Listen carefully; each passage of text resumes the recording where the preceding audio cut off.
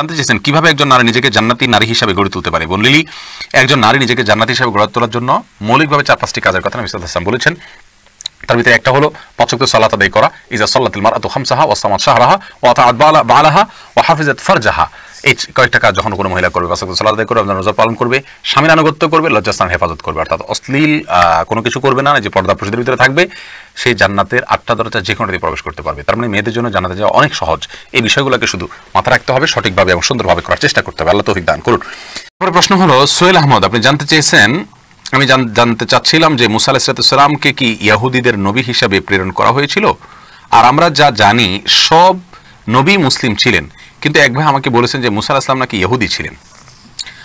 দেখুন, মুসা আলহিসাল্লাম এবং তার অনুসারীদেরকে ইহুদি বলা হয়, এটা তাদের এক পূর্বপুরুষের নামে নামকরণ করা হয়েছে, এটা তাদের জাতীয় নাম। বাট সমস্ত নবীরাই ইসলামের পথে আহ্বান করেছেন। ইসলাম আল্লাহ সুমাতার কাছে আত্মসমর্পণ করার অর্থ যদি আমরা নেই, তাহলে সেক্ষেত্রে সবাই আল্লাহ সুমাতার কাছে আত্মসমর্পণের কথা বলেছেন। সমস্ত নবীদেরই কিন্তু দাওয়াতের মূল থিম সমান, একই ছিল। সবাই বলেছেন, ইয়া ইহান্নাস কুল উলা ইলাহিল্লাহ তুফলেহ, এর সমর্থবোধক কথাই সবাই বলেছেন, এর প্রতি আহ্বান করেছেন। হে ইমানদাররা হে মানুষেরা, তোমরা লাহিদাল্লাহ বলো, তাহলে সফল কাম হয়ে যাবে। এরপরে প্রশ্ন করেছেন মধু হাসান, আপনি জানতে চেয়েছেন, আমার বিয়ের সময় মোহর দেওয়া হয়েছিল দুই লাখ টাকা, কিন্তু এই টাকা যে পরিশোধ করতে হবে তা আমি ভালোভাবে জানতাম না। এখন আমি টাকাগুলো পরিশোধ করতে চাই, যদিও এটা আমার জন্য কষ্টকর। আমি বিয়ের পর আমার স্ত্রীকে স্বর্ণ দিয়েছি। এখন যদি এই স্বর্ণগুলো দাম ধরে এবং দুই লাখ টাকা হতে যত বাকি থাকে তা দিয়ে মহানা পরিশোধ করি তাহলে কি আমার মহর আদায় হবে? আর আমার স্ত্রী মহানার টাকাগুলো নিতে একদম নারাজ। ভাই মধু হাসান, আপনার স্ত্রী টাকা নিতে নারাজ তো তো আপনি বেঁচেই গেছেন। আপনার তো রাস্তা আলহামদুলিল্লাহ সহজ হয়েই গেল যে আপনার স্ত্রী নিজে নিতেই চাচ্ছেন না। আল্লাহ সুমাতালা বলেছেন, স্ত্রী যদি তোমাদেরকে মহানা কিছু ছাড় দেয় ফাকুলু হু হানি আম্মারিয়া তাহলে তোমরা সেটা খেতে পারো, ভোগ করতে পারো।